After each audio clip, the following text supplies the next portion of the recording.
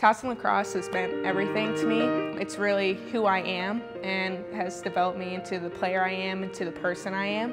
You know, a lot of what I've done uh, in lacrosse and outside of lacrosse, I owe to the school, I owe to the program, I owe to the culture. I came in uh, as a transfer, so it's kind of that fresh start.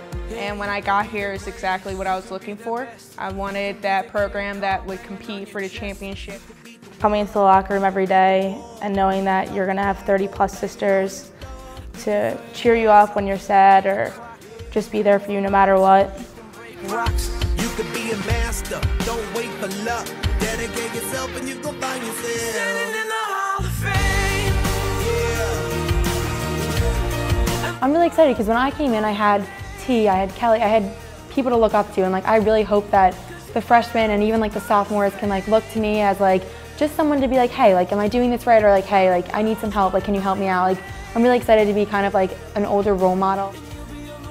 I would describe our student athletes as gritty, tough, tenacious, hardworking, um, inclusive, down to earth, you know, student athletes and people, you know, and that's that's what we recruit.